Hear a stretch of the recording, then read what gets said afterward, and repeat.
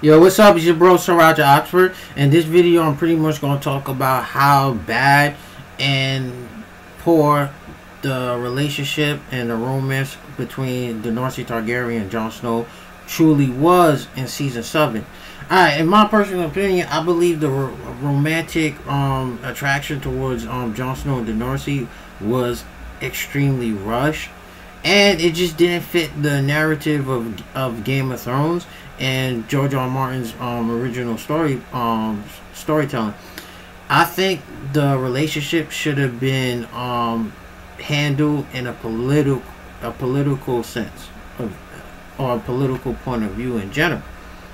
And this is pretty much how it should have went down. Okay, um, I'm gonna start off how it should have went down, and then I'm just gonna talk about the errors of how the you know the show writers did it. All right, how the relationship between Jon Snow and Daenerys Targaryen should have went down. It should have went political. In season six of um, Game of Thrones, when Daenerys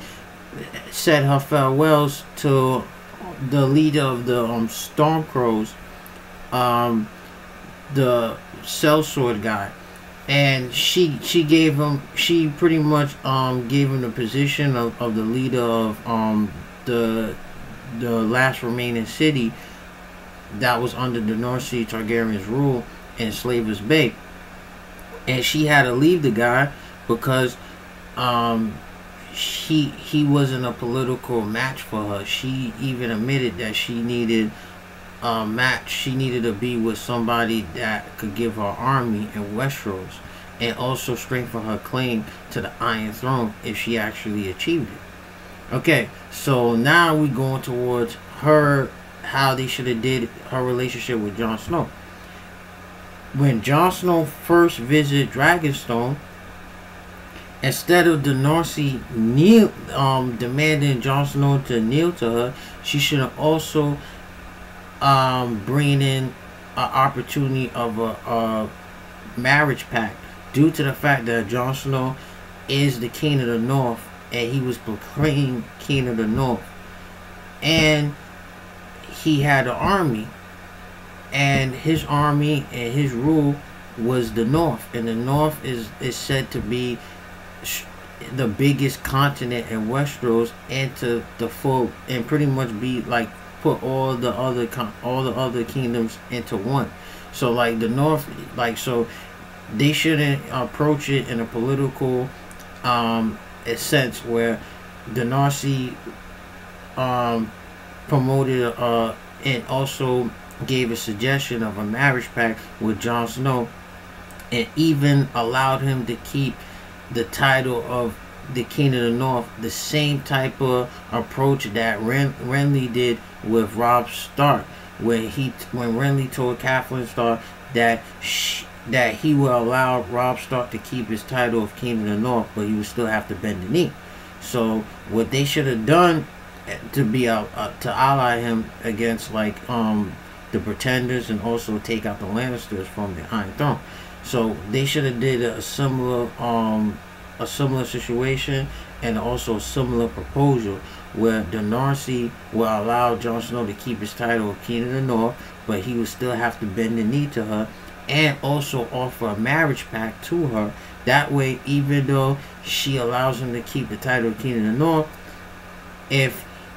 if he has an heir, like if she actually delivers a child by Jon Snow, then that that child will still have claim to the um the north. So boom, it would have been a southern kingdom. And another situation and Caesar Southern when um Tyrion had a discussion with the Daenerys Targaryen about having a proper heir and knowing that Daenerys was barren and she could have produced children due to the curse ma- the, the blood magic it's obvious that Daenerys would have not only would have should have like um not should have um named Jon Snow as her heir to the Iron Throne when she dies, and or his descendants, you know, for his loyalty and his army. And that's what they should have done it. They should have done it in a more of a political approach, and they should have made it obvious when Daenerys even made the claim to her her counsel about the marriage proposal with Jon Snow. And and later on in season seven of season finale, before Daenerys and and Jon Snow had sex, their last discussion with the council, she should have proposed a marriage pact with Jon Snow, making it obvious to, to strengthen the, the North Alliance. But they didn't do that.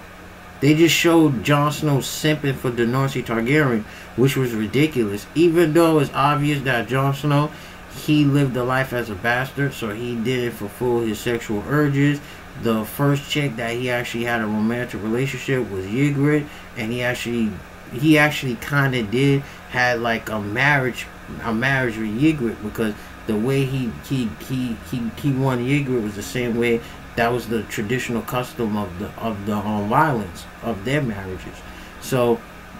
even though like you know Jon Snow should have been in a situation when he he, he went crazy for Daenerys Targaryen, and Daenerys um attraction to Jon Snow not only by his fame of being a Lord Commander, raising from a, a, a bastard to Lord Commander of the Night's Watch to the King of the North, and his victories against um the House Bolton and um regaining the North and also even defeating the Wildlings and saving the Wildlings and also his good looks because in um in Dance with Dragons in the fifth um A Song of Ice and Fire book when on the Daenerys and POV chapter when she masturbates um she actually does think about a, a young a young man with black hair and the description is actually Jon Snow so I think it's more than just an attraction and now I'm about to hit to theory um category, which is probably going to you know attract a lot more people's interest. And what's pretty much um I believe that Jon Snow and the Daenerys Targaryen attraction is more of a magic thing, and it got to do it got something to do with Quaithe, the um the sorceress from Qarth, and um because in the Dance with Dragon, the, um, the Daenerys has like a vision dream with Quaithe, and then you know when she's like masturbating, she describes Jon Snow's appearance and just the immediately attraction between her and Jon Snow. Not just because of Jon Snow's good personality and the fact that he's a warrior and he's still a good man, but also the fact that they're just strongly attracted to each other and it also got to do something with the Targaryen genes. And one of the main reasons why the Targaryens still interbred and with with each other is because they do have like a strong attraction to each other. It's just it's also like something to do with the blood the blood of House Targaryen and also just like the magic because I think that it's a it's a candle it's a glass candle that's allu- that's making illusion in the attraction of Jon Snow and the Daenerys Targaryen. And me, an obvious approach, I don't think the Daenerys Targaryen is the reincarnation of Nissa Nissa. It could be the Red Woman Maserati or even Sansa Stark. So they could also fit the description of being a reincarnation of Nissa Nissa. And I believe the reincarnation of Azor Ahai is in fact Jon Snow due to the fact that R plus L equals J, J theory was correct, and Jon Snow strongly fits the description of the the la- of the um the prince that was promised, and it's not the Daenerys Targaryen whatsoever. It's been your bro, Sir Roger Oxford. Please give me a like and subscribe.